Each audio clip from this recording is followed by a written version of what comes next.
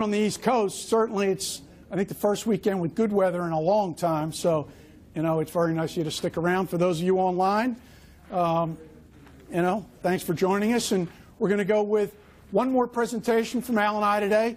And this will be, you know, the sideways market approach, you know, to trading options. You know, we basically the stocks can do. It's to me one of the great things about options in the market itself Stocks, indexes, ETFs, they can only do three things. They go up, they go down, they go sideways. You know, we talked about it a little bit. Try to find those option positions that work in each of those three scenarios and then go for it. So we're going to focus on sideways here. Um, you know, for those just joining online maybe for round three, the industry does put out that uh, disclaimer document, characteristics and risks of standardized options. There's actually a lot of good information in it. Um, keep it by your pillow if you're having trouble sleeping. It's a great, great way to get to sleep quick, but it does have a lot of good information. Uh, many of you are aware that OIC has been around for 25 years. Uh, quick history on why the OIC started. I think the industry does set itself apart with, you know, a nonprofit. You know, we, everything is done funded by the industry. We've been doing it for 25 years. One mission, understanding the benefits and risks of the listed options product. So 25 years ago, turns out to be you know 1992. The genesis of OIC, you know, we know early on the industry started in 73. Well, how many of us remember the 1987 crash?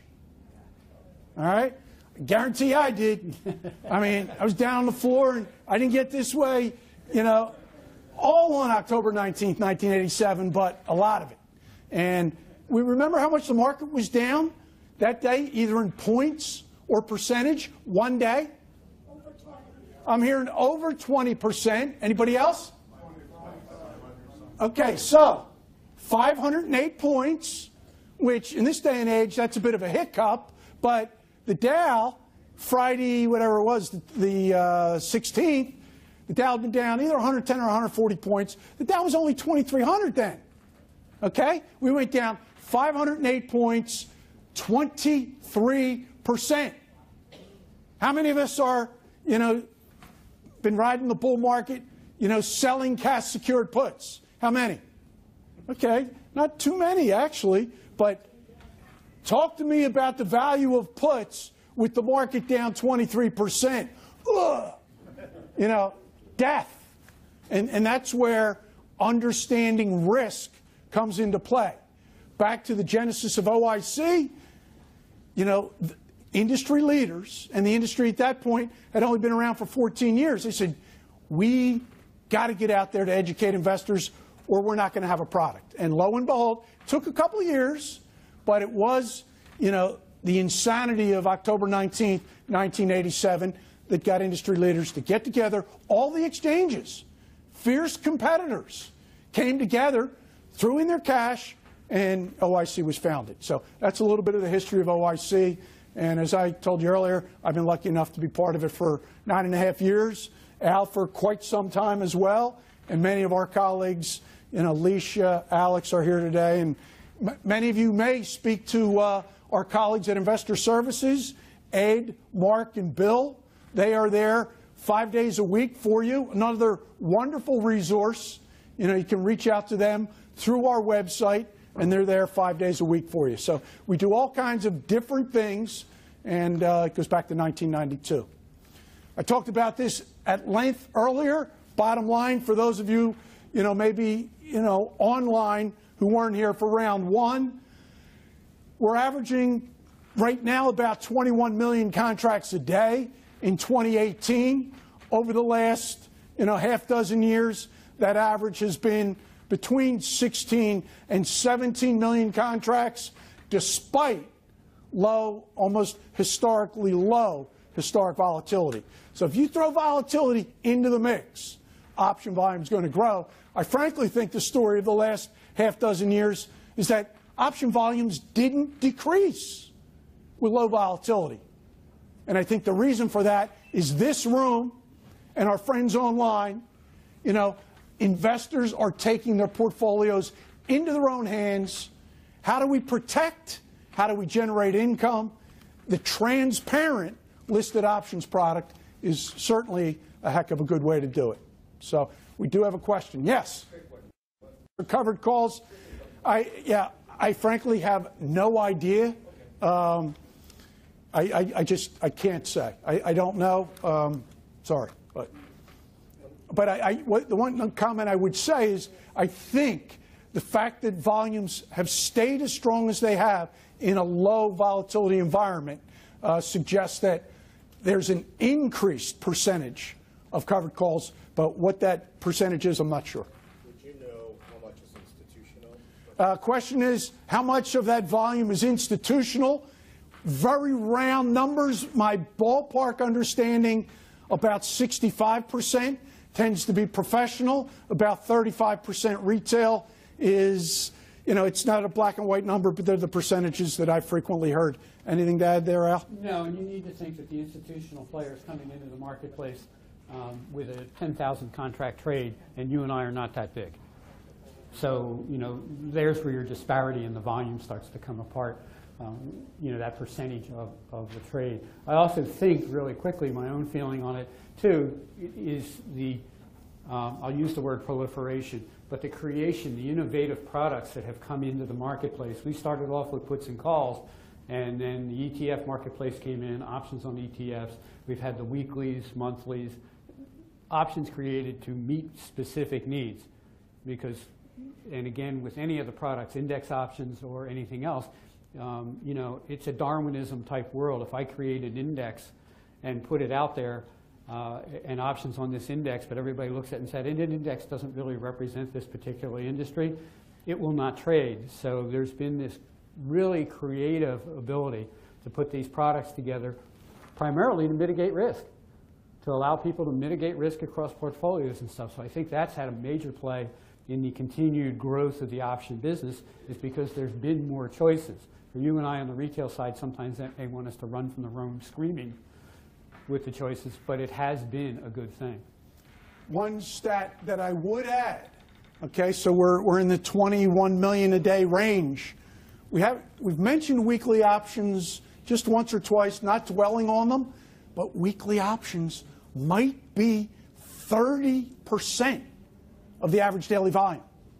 Okay, I mentioned earlier about 4,400 products about 700 weekly products. Clearly the most liquid, but to Al's point, you know, the innovation of weeklies, which are only in the last half dozen years or so, uh, big part of the options product as well. So uh, that's a little bit of the history. We've got the five parent companies, Chicago Board Options Exchange, NASDAQ, BOX, MIAX, and New York Stock Exchange. So uh, now, we, we've talked about risk We've talked about income. We're going to talk about, you know, the sideways market.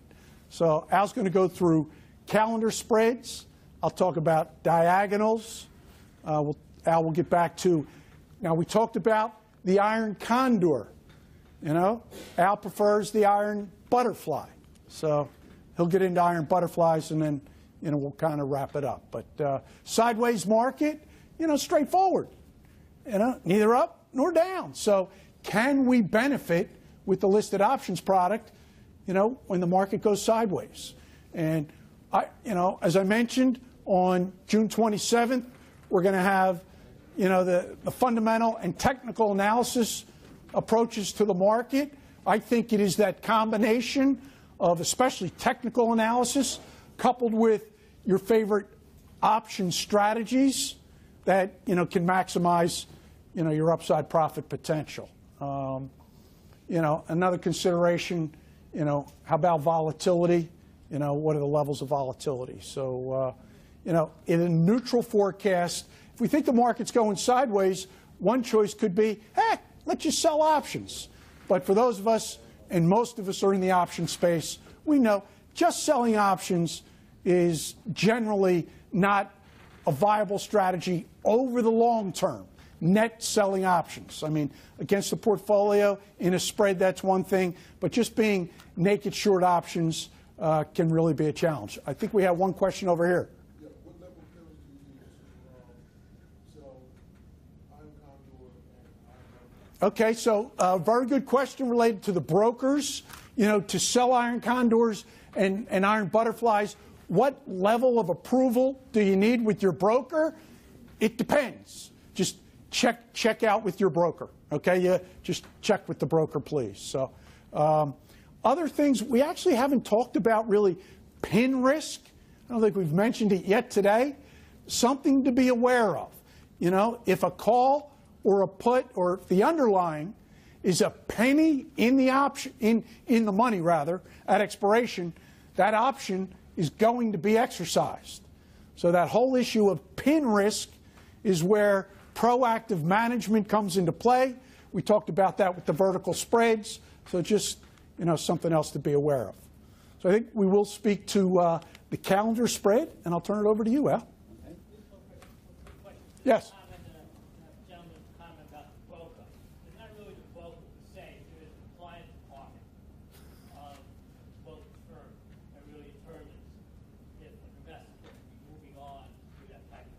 Okay, so just to further uh, on that last question about what level of approval, you know, be sure to check with the broker, and that is typically dictated by their compliance departments. Thank you. All right, thanks, Joe.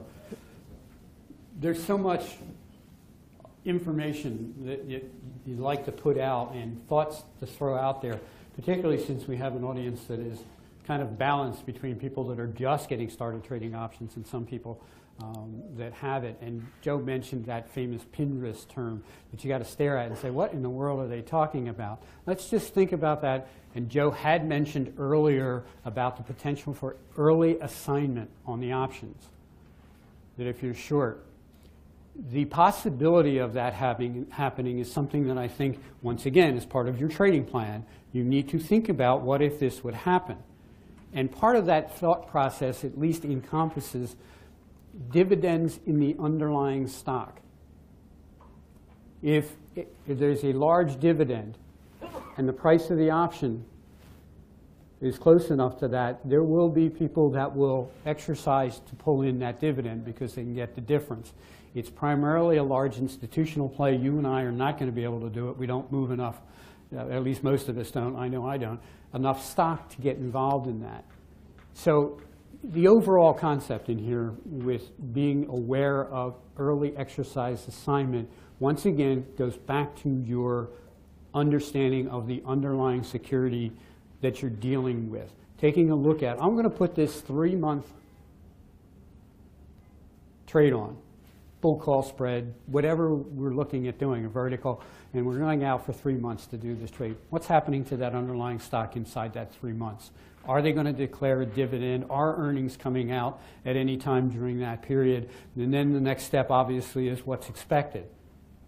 Because honest, you know as well as I do, in the stock market, expected and actual can have some very, very different results in what happens to the underlying security after those results are announced.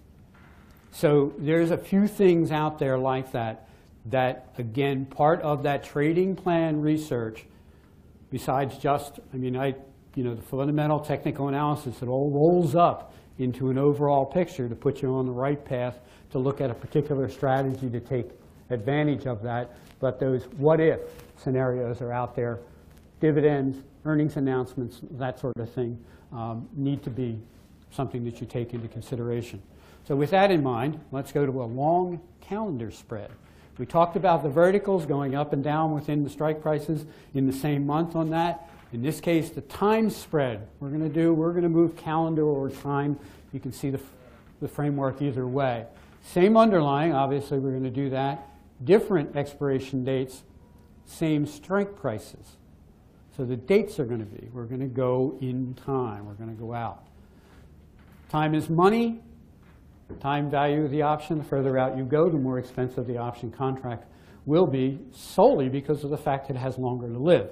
Just that one factor alone will make, in most cases, the further out option more expensive than the close-in option for that.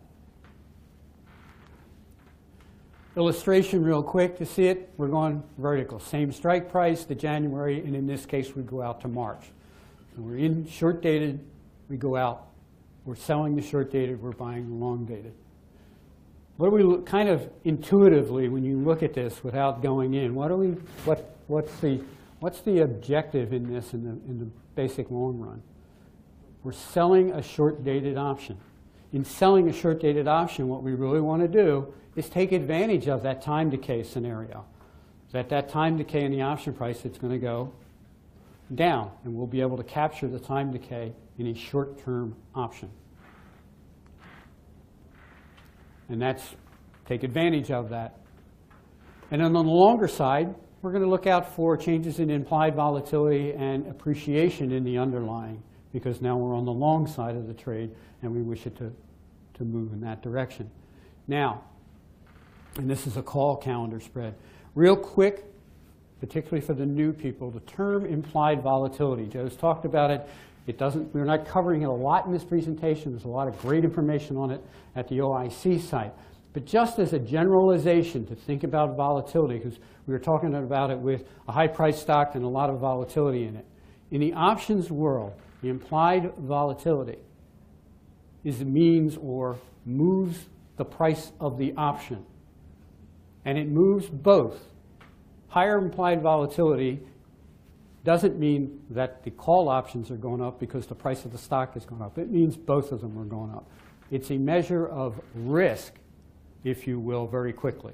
So keep that in mind. In a low volatility environment, the option premiums will be both sides, calls and puts, on a lower range because there's less perceived risk in that underlying stock moving a considerable distance during a time frame. But if the volatility comes high, your premiums are going to go up. Why is it important? Because you know, in a high volatility in part, you might be looking to say, I need to put some protective puts on my portfolio at this point in time. Market's really volatile. It can, you know, can go crazy uh, on that. Just keep in mind that in that case, the put premiums are going to be somewhat higher in that case. It's like when you need it, the cost is the most. It's kind of like basic economics, I think, in that, in that matter. Okay? So, short-term price short-term neutral to bearish with this spread, with the calendar. Bearish, or we want it to stay the same because we want to capture the time value and the decline in the price of that near-term option that we sold. We have a long-term thing, so we need to have a little bit of a bullish outlook. So in this case, we look on the screen and we see that the XYZ 85 calls with a 30% volatility is what we're looking at saying. These are priced with a 30% volatility included. The January 85s, $3 bid, 305 on the offer side. 85s, 5 bid, offered at 505. So we see these prices and we're going to take a look at what we want to do with this. We're going to balance, in this case, the time value sold with the debit at risk because we're going to end up putting this on for a debit. Long date, long dated is going to be more expensive than short dated. Okay, so we put this on for 205. As Joe has mentioned many, many times, that's the only number we care about at this point in time is we got 205. We have the prices. Maximum gain, the shares close at 85 would be at the maximum. The short call expires worthless. Okay? In the long term, if the short call goes out like we'd like it to, and we get to keep the cash that we've taken in, we're now long a call, and basically the long call P&L is hopefully unlimited on the upside, at least for the life of the option. The maximum loss, the premium paid to put on the position. This, once again, if they're in the money or the share has gone down substantially, the share price has gone down substantially in that, or both options get in the money on the calendar. Remember, we're talking about an extreme move here. They get deep in the money. What was our forecast? We're neutral. It's a sideways market.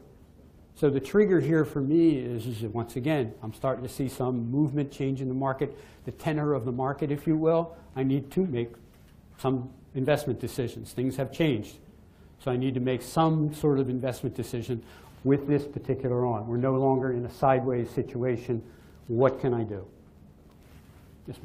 Question. I'm looking at the slides, in slide twelve, what is the B when you, yeah, when you have three dollars B, it says at three point. All right, in, in the marketplace, and, and Joe knows this real, really well, this would be the bid shown on the screen. Price somebody's willing to pay for. The question is, what's the B and an A on these?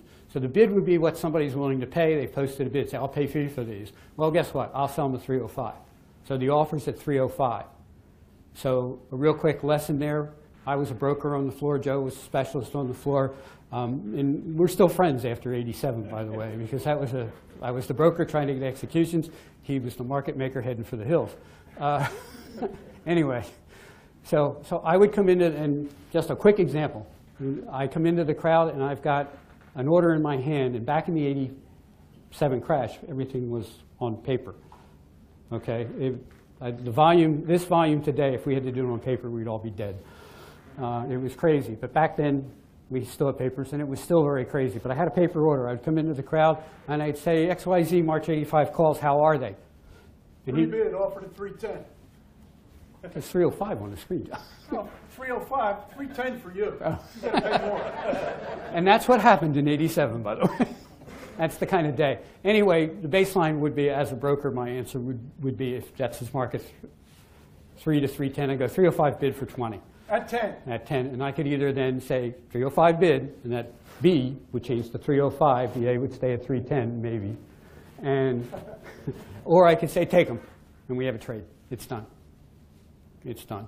So, but that's, that's what the B and A are. It's the bid and offer. It's just showing, it's just showing the, the screen. If you look on the screen, you'll see the same, same type thing. Well, why did you choose those two instead of the other one? Instead of the longer date? Once again, trying to minimize, minimize my risk that I'm exposed, if you will, on this. January to March, that's three months. I mean, that's, that's a good, good time period uh, for it. The, the answer to that is really in your analysis. Once again, you could sit back and say, well, what if I did the January, June? And keeping in mind, now all of a sudden you've really expanded the opportunity for not good things to happen or good. Or you could just do the June and sell leading up to it to add to income. Many variations on the theme, I suppose, is the answer. But in this case, as we said, I'm kind of time, time value sold versus at risk. This looked like a good three-month window to deal with. Can I add a little something on that? Um, You know, in terms of month selection, couple factors. Um, Obviously, earnings always comes into play.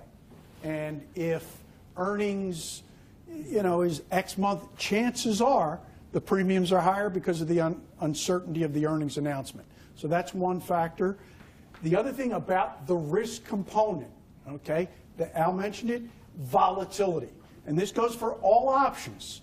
And a lot of this education is about option core concepts. With every option, the further you go out in time, you have more volatility risk. That's how it works, okay? That's for every option. So if you go by June and sell Jan, you've got an increased debit because time's going to cost you more, but you also have more volatility risk because the June option has more volatility than the front month option. So they're just different factors in going into, you know, what, what month maybe to choose. On slide thirteen, so when, so when the long call is held at expiration date, do you automatically get the stock at sixty-five dollars if it's up at eighty-seven, or do you have to call the broker to say, I have a long call that I held and I want the stock at eighty-five? Well, at this point, we're not saying, and then the question is, do you want, does the broker automatically exercise that long call if you close it? You're going to have to take proactive action will be the answer to exercise the call. As Joe said, if it comes to expiration and the strike price is, and the share price, excuse me, is one penny in the, in the money, they will do it for you. It's an auto exercise thing. And that, that, again, is part of that trading plan. Do I want to do this what are my rights and obligations, and keeping in mind that one penny in the money will do it. If you take it on a basis, how much is your commission going to be to buy the stock? You- You're going to get it at 85.01, but you're going to pay X number of dollars on the commission side. So it's kind of a thought process. Like, oh yeah, I'd like, to, and which is fine, because you may want to add that stock to your portfolio. That's not necessarily a bad thing. Assignment and, and, and exercise in the options world are not evil. They're not the bad thing. You may set up your trade to do that. You could set it up with a put trade to buy the stock lower. Take in some cash to lower your basis cost on your stock, and then, hey, I'm okay taking it in. I got a, question, the upcoming options uh, seminars about and technical and fundamental analysis. How many people in here utilize technical analysis, charting? Okay, um, the reason I ask that is in a lot of seminars I've been asking about that lately, question, and I found that the use of technical analysis has dramatically come down in the number of people uh, from that, and that's for whatever reason, but it is something to take a look at uh, for utilizing in stock prices. It's another tool, if you will, that's out there. Okay, let's see if we can get shares close below 85. The short call expires worthless. Keep the money. No stock position. Now we have a long call. So now our P&L drops into a long call. The reason for the bizarre chart here that doesn't have the usual straight lines is, is because we're out in time and stuff, we're not exactly sure what the price of that is because volatility can change. We've had time value come down. We can estimate it, as we talked about before, by going into the options calculator and putting in some parameters.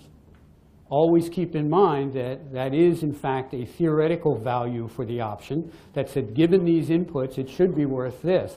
And we often will look at that and say, oh, it should be worth this, but it's trading at that. Why is that? Easiest way to answer that is economics, supply and demand. Joe can attest to that as, as, as a market maker. If I come in to buy the June 35s and there's three other people standing behind me to buy June 35 calls or yelling at him to buy June 35, chances are he's probably not going to sell all three of us June 35 calls at the same price because it's supply and demand. There's a demand out there. He has to mitigate his risk for somebody coming in to buy these calls.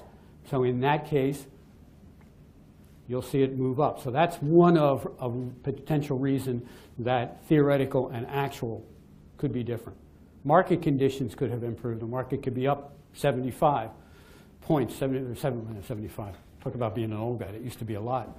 Uh, 700 points. Well, now all of a sudden the market has a different look, has a different volatility level to it. Your premiums are going to start to, to get out of line with the vol, you know, with theoretical. So, but it does give you a roadmap. And that's the key element to this. It gives you something to base expectations on. So if you use an option price calculator and put the various inputs in, you get a number. You change the inputs and you'll see a different number. At least you've got something to work with rather than taking a guess of what it might be. You've got something solid to deal with. How do you incorporate open interest and volume prior to going into this trade? Question is, how do I incorporate open, open interest in volume? My feeling on, on that, and for those of you who are not familiar with the two terms, since we're on basics, option basics, I know we're getting taking a little time here. I'll run through it. But volume, when you look on the screen, you'll see those two numbers. One will say open interest and one will say volume. Volume literally is how much traded today. And it's updated dynamically as how many options trade today. Open interest is basically how many options are still alive that haven't been exercised or closed out. And that's, at the present time, updated at the end of the day. They take all the trades because remember when you go to put in a trade, you say I'm opening a position or I'm closing a position in options. That's a big difference for options orders to equity orders. So you could sell to close, you could sell to open a position. Think about it, opening, I'm creating a position. Sell to close, I'm eliminating it. I was long it, I sold it to close, I no longer have it. So the open interest reflects how many of those options have not been closed out. and it's one day later. It's updated at the end of the day on that. The, the, the thing, the importance of this is liquidity, is how much trading is in this option. Can I get in and can I get out for a reasonable or at a reasonable price level? And it's come up in some of the other things and stuff like that about trading particular underlyings. One thing I think that is important to do as part of your research is look and see how much stock trades on a basis, and then when you look at the options, see where they are and prices. The less stock that's trading during the day, chances are the bid offer spreads will be wider than something that trades a lot. And you just go look at SP, SPYs and stuff to see that type stuff. And very quickly, why is that scenario? This gentleman out there is taking a lot of risk across all the options. He needs to hedge his risk. How does he do that? Most of the time, he will take a stock position to offset the options position, meaning that he's dynamically buying and selling stock constantly during the course of the day. If the particular stock has low liquidity, it costs him more to hedge his position because he has to pay up or gets lower prices for his stock. How does he offset that a little bit? He opens his option premiums up. It's pure logic, it's pure risk management. He needs to stay in business, you need to make some money. It's just the way, the way of the world out there. But that's kind of a, an answer on, on liquidity and stuff. I would look at options with decent liquidity and decent underlying trading because I know I can get in and get out at a price on that. So anyway, let me, let me roll through this and I'll take some questions. I got, we got kind of out of the way here. I apologize. Shares close above 85 on our calendar. We close out the short stock and hold the long call if we continue to be bullish, if our outlook stays bullish on that. Okay? So we, this would end up in a short stock. We close it out, cost money, margin, all that stuff. Let's look at this before we get to this spot, is my thought on this type thing. Additional capital may be required if we go through it. So taking a look at the calendar, it's another piece in the arsenal. It's good for the sideways markets. Time, prices, kind of our key element. How far do we want to go out?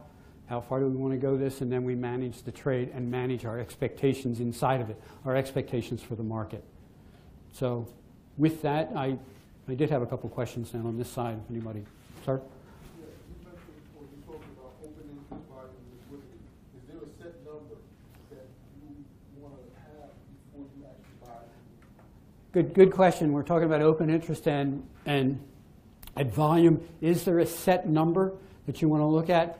It's really very hard to say that there's a, to give a, a parameter. I wouldn't want to do that. That's something you need to look at and balance that with looking at the option bid offer spreads. Saying, okay, this one trades 500,000 shares a day, for example, and the difference between the bid and offer is consistently 15 cents or something. Maybe that's too wide. Maybe it needs to have more stock. So it's, it's, it's really, again, a personal type thing, but I do recommend that you consider it as you look to do specific options trades. Um, could I just really do a real quick kind of bid offer thing? Think about it from this point of view, and this is kind of Joe's, Joe's arena here.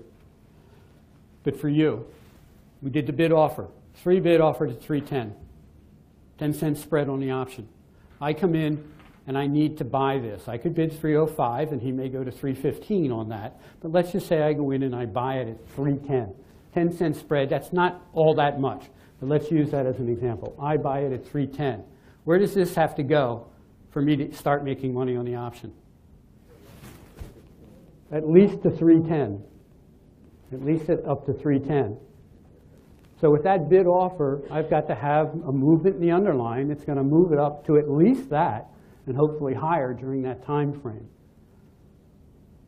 So that's kind of what you're looking at as where do I want to go, you know, if I pay that 310, is this stock have enough, or the option, excuse me, have enough volume trading on a basis that it looks like it will have people interested.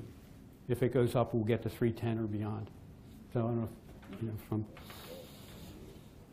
So I, I will roll into diagonals, but uh, the whole liquidity issue, I, I couldn't agree more, is super critical.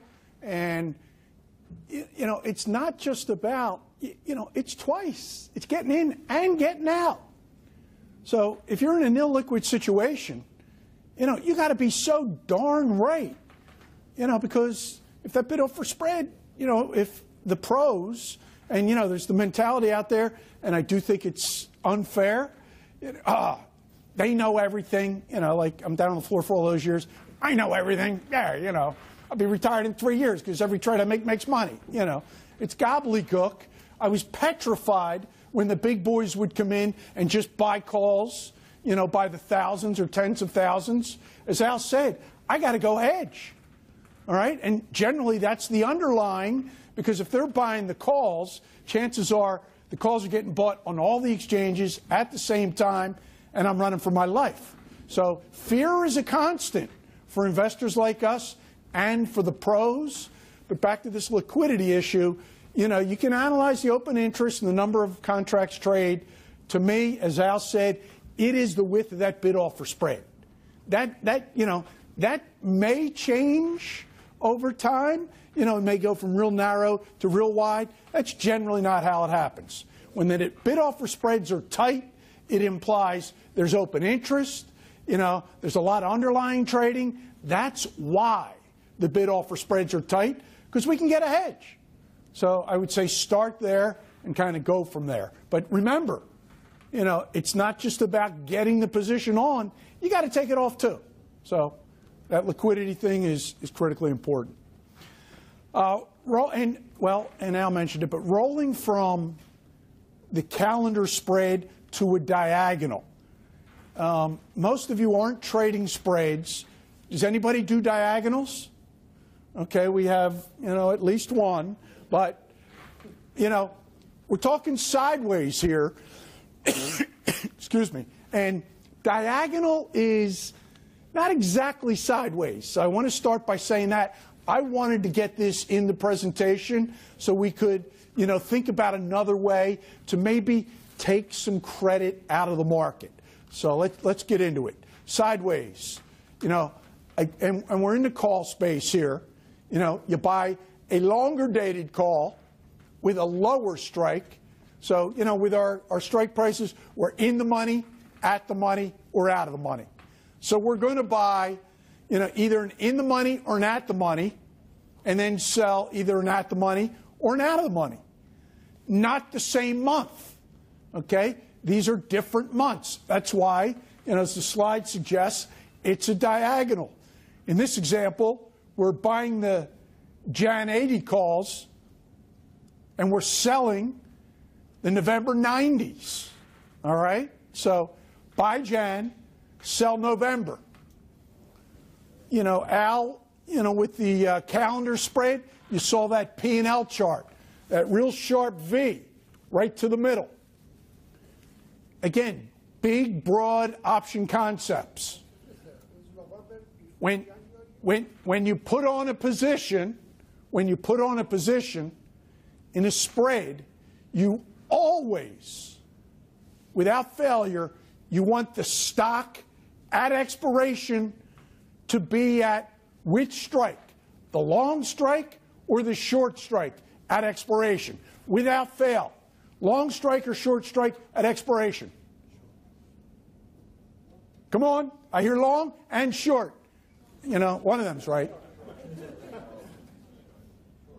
I'm, okay, short. Let's think about it. Again, conceptually, big picture. I'm long an option, I'm short an option. What goes against us in the options market? There's a finite life. Time, bingo, theta. If you're long options, most of us use options. We know how darn painful it is when we, you know, buy a call, buy a put, do a spread, and nothing happens. Oh, well, sideways. So hopefully we've got a sideways position on. You know, most positions generally aren't necessarily for sideways. They have a bias, up or down. But it is that time premium that can kill us. So just then think about it. You got a long option position and a short option position. It doesn't matter, calls or puts, it doesn't matter where the stock is. Of course, we want the stock to go to the short strike. no matter call or put, no matter the strategy at expiration. How come? You get that premium, exactly. Okay? As the stock goes to that short strike, chances are, if you've got a spread on, the long option is gaining in value, chances are, and the short option is decreasing in value. And, you know, we'll, we'll get into that a little bit with this diagonal. But big picture concepts, you know, you're going to be short an option. That's the target of the stock at expiration if in, if in fact you plan to, you know, hold the position to expiration. But without fail, we think in terms of forecast targets, your short options, boom, that's where I want the stock at expiration, at my short strike. Okay? So that's super important, super basic, super important. Long call diagonal. So we're long the Jan 80 call, we're short the Nove 90. All right, you know, as I say, I, I got this into the sideways market. There's some delta in this spread. That 80 call certainly has more value than the 90 call. We agree? So, with that, again, the point is, you know, how do we take some money out of the marketplace? So, um, the vertical spread would be either Nove, Nove, Jan, Jan. Here we're diagonal. And generally, you're buying, as I say, the in the money or at the money, and then selling either the at the money or the out of the money. All right? What do we have here? We got uh, buying, buying the uh, Jan 80 call, selling the Nove 90s. Okay, the debit is 709. 709.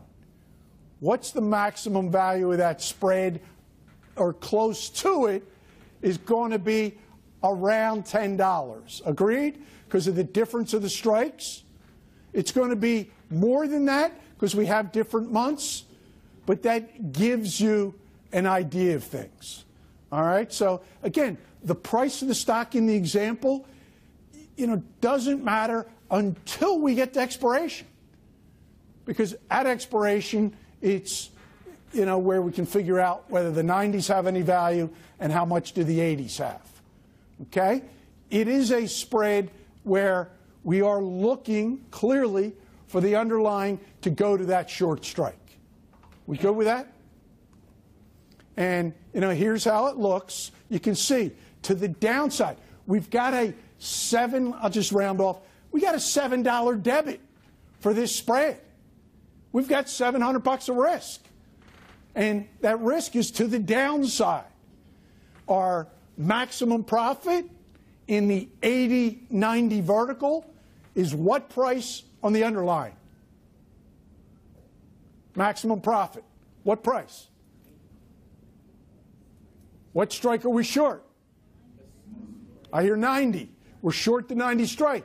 That's where our maximum profit is going to come in. Because that 80 call with the stock at 90, okay, let's go through the numbers.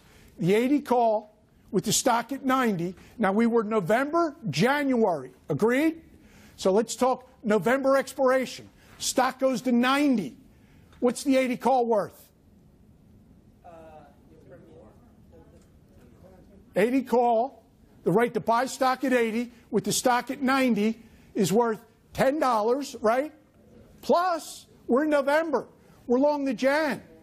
So $10 plus time premium of two months. Agreed? So let's say it's a buck.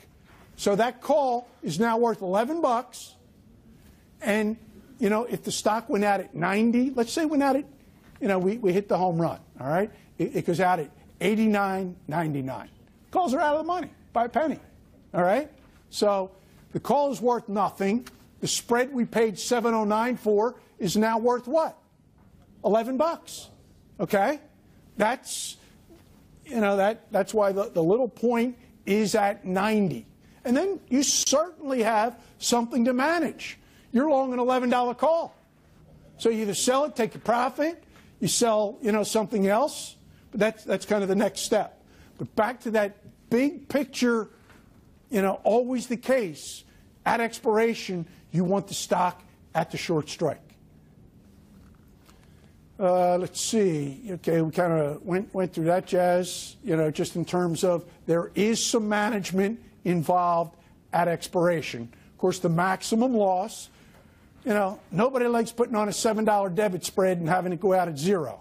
So obviously, that's not the game. Hopefully, you know, with an 80, 90 diagonal, we're looking for that stock. Doesn't necessarily have to go all the way to 90, but, you know, we want it going, you know, in that direction.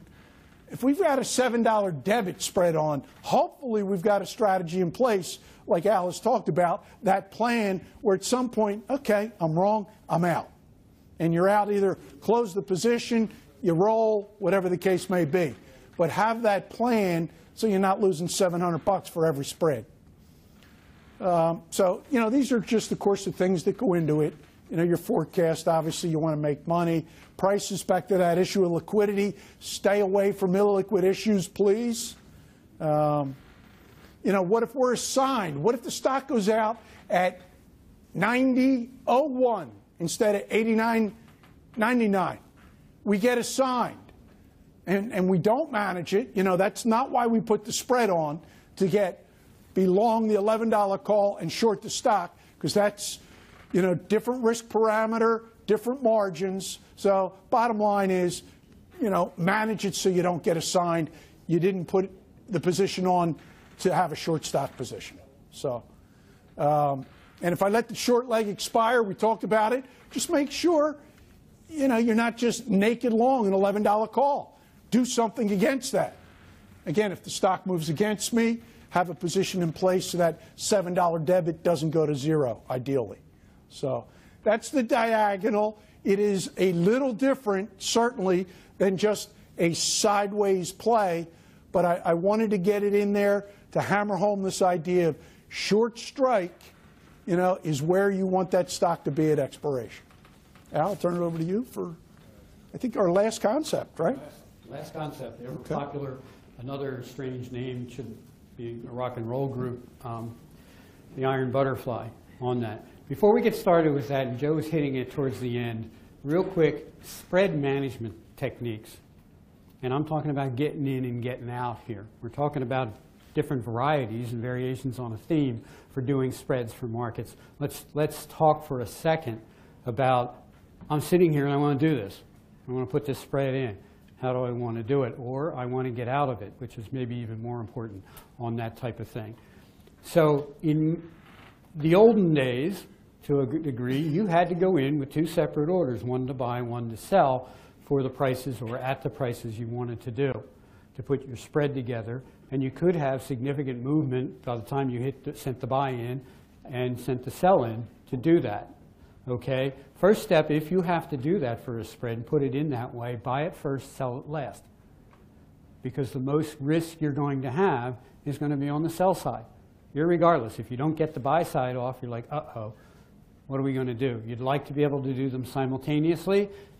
You can look at bid offers, and if you look at, I'm going to buy it at this, I'm looking at the offer, I'm going to sell it, sell this option, I'll, I'll look at the bid, and I'll put in the prices at that. That basically difference in the industry would be called the natural, that you want to do that. In today's world, and this is something to check with your broker and stuff, the ability to enter a spread as a single order and execute it within your parameters, a specific debit or a specific credit for a specific number of contracts, is becoming more and more available. And at the exchanges, they maintain specific books, just like we looked at the bid and offers on that on XYZ, we could have a book on a vertical spread of the July's 85s, August 85s. You could have its bid, I'm willing to buy that spread, put that spread in from the long side for three. Someone else could put in and say, you know what, I like that spread, but I want to sell it at 310. And you could have a spread market you can see and deal with. And that will simultaneously, if it's executed, both sides of the trade. The other side of it is getting out of a trade. Always close out your short side first on a spread. Always, if you're closing out the position, close out that short side. Once again, the same thing holds true. That's your biggest risk. Close out the short, get that out of the way, and then close out the long position. is you're taking your biggest risk factor off the table. All right, the iron butterfly consists of the short straddle. Touched on that actually earlier in the day. On that, we're selling a call and we're selling a put. It'll be the same underlying, same expiration date, and the same strike price. Typically, on the straddle trade, it is the at-the-money options that we sell. So call, sell a put. We've straddled the market. All right? So we have an 85-85 here. You can see that. We can take advantage of a stagnant marketplace and or declining implied volatility. Remember I mentioned declining volatility prices come in. Option prices will come in, both the calls and the puts. We sold two, we took in income. That's why stagnant marketplace, they're not going to change very much as we move towards expiration. And volatility will be down, it's stagnant if it comes in on that. See the big word, the capitalized word? Unlimited risk. We've got unlimited risk on both sides. If the stock tanks, we got it on that side, and if the stock blows up to the up, we're like, uh-oh. So if the stock blows up, we've got some serious issues on this line. We're looking for, again, limited reward. We've done taken in cash. We're looking for time decay, and of course, there's always in any of these type things, particularly short options in, in this scenario, the risk of assignment. Income would be your motivation, 8750, XYZ, unchanged. Implied volatility, we're looking for it to come in over the next day. We do the two, sell the call, sell the put, 8750, 45 days out. We have a net credit of $4 for this for each option that we do. Maximum gain is 4. Our maximum risk, we're short two options. The margin example, exchange minimum, you need to work with your broker on that. They all have, they can modify the minimums that have been put out by, I believe, the OCC on, on requirements on options like that. Two break evens, because we're down calls and puts. So we've got a break even on the call side, break even on the put side. The diagram shows it well. We have the opportunity between those on the top part to pick up some profitability in this. If we hit direct dead center, anybody want to think the odds are of that? And most of the time we hit our maximum, but we've got a little left and right boundary from it. But we do need a decline. All right, let's flip to the other side and change our modus a little bit and look at the long strangle. Now we're going long and we're going to this really interestingly named strategy called a strangle. The long strangle is profitable if the stock, the underlying stock ETF or whatever, makes a sharp move. And I emphasize that. In these cases, in the strangles and in the long straddle side, we need a sharp move in the underlying. Not just the average lollygagging along movement. We need something very good. These are the types of plays you will use when you're not sure, but you think the stock has the potential to move. Earnings announcement coming out, good or bad, but the stock hasn't moved. There's a whole methodology to analysis for a good stock to put this type of trade on. Be that as it may, the baseline trade. Volatility is your big player. We're long two options. What isn't your favorite friend here is time decay, theta. You're long two options. Now you double down on time decay.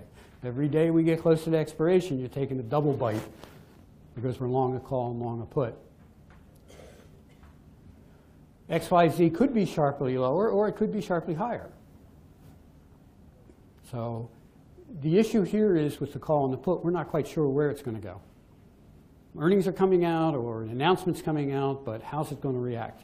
Well, this way we can be ready for both, as long as it goes strong. The difference between the straddle and the strangle is the expiration, the strike prices that we pick. We got January calls and puts. If we straddle the market In this case, 8750, we're, s- we don't have it up here, but the 85 would be, let's say, our closest. We would do both 85s. In the strangle, we're going to do the 9085. Cost us 250 to put this on. Maximum gain, basically unlimited, offset by the change on the other side. The put goes up, the call goes down, et cetera. Still like that with them comes out, okay? Maximum risk, what we paid to put it on, the debit. And once again, two break evens. And I think the better thing is the illustration on this. This is, uh, Joe had mentioned earlier, and I agree. The more you get used to looking at these things, the more intuitive they get to see where, you- where your position is. Rather than just doing the numbers, the visual might help a little bit better with this. Now remember, when we talked about the straddle before, it came to a point, and our point was right here for our maximum. This has got the lower piece. And if I put this, it over it, we'd have a sharp point down. What you're getting is because we've moved those strikes, is we're getting a wider range to be successful. However, what we've done is truncated the amount we can be successful. No free lunch, so we give up some to get some with the market straddle. And chances are, because of the prices, it's cheaper to do than the at-the-monies at the same time. So real quick, let's do the iron butterfly. Because we're going to take a short straddle and a long strangle, and we're going to shove them together. That's a lot of what we've been doing today. That's a lot of what this, what the options in the spread environment is, is taking strategies and putting together. Bear call spread, bull put spread, range-bound sideways trading. The options expire worthless and keep the premium income. In this case, 45-day strangle, 8750. At four, we buy the strangle for 250. Maximum gain, maximum risk. Margin, once again, check with your broker to see what that would be. And again, 86, 89, we're going to have two break evens to look at.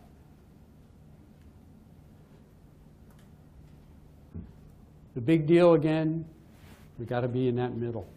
We got to hit that sweet spot to really pick up the maximum profit. There's a little left and right room inside of that if we get to expiration with the underlying stock on either side of that, but the maximum is a little bit more difficult to pick up on that. Last part of this, we got a couple visuals. Why not compare these two? Because everybody, and these are, are popular strategies. They've, they've come into their own, if you will, with people using them. My caution, as always, with folks new, let's practice. Let's make sure we actually understand the rights and obligations we do when we do this. Let's practice and see how the numbers play out. You know, let's make sure we've got this idea down and our forecast down that we try to overlay this particular strategy. You also have, with your broker, multiple commissions. We got four options going down here. So we need to factor that in. We haven't really touched on that, but remember, there's a commission factor and then there's taxation somewhere out there as an issue that you need to kind of have, a, have part of your plan.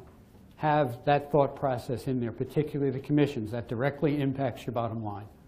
So where does that take off? I'm going to make 150, but it cost me 85 in commissions. I'm just taking a number. Well, maybe we're not going to do that kind of thing. Anyway, there you go. Iron butterfly, iron condor. Make more with the butterfly if we hit the target. Make a little less on the condor, but we got a wider range for success. And that really kind of sums it up in a nutshell, the difference between these two strategies. So where's your forecast? How comfortable are you with your forecast? And the other analysis, how much is it going to cost? What are we going to put this on for? What do we need to do? So which offers the greatest risk versus reward? Which offers the greatest likelihood of success? Well, we could sit here and debate that, I'm sure, back and forth for quite some time. Because as often in options, there's no absolute answer. There's no like, if this happens, you got to do that type thing. It's up to you, your risk tolerance, and what are your expectations on putting this trade on for the underlying. What am I looking to do? Is this the trade I want to do it? I'm more comfortable with this because there's less risk involved, however that plays out. This little chart will give you some picture of it. The iron butterfly, the profit potential is higher.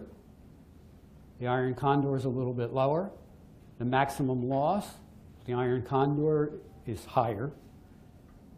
The iron butterfly is lower. The trading range to get to that profit potential is certainly more narrow in the butterfly. And you've got that wider range on the condor to look at it, type that. And your exposure to implied volatility puts you short vol- implied volatility, which means you need to have to keep an eye on the changing volatility type thing. So we're short, we want volatility to come in a little bit. So with that, my past assessment, the man from OIC, I just want to over. thank everybody for, you know, spending your morning part of your afternoon. It's our privilege, honestly, uh, to be funded by the OCC. Thank you. And don't forget, you know, June 27th, we are going to do that four-part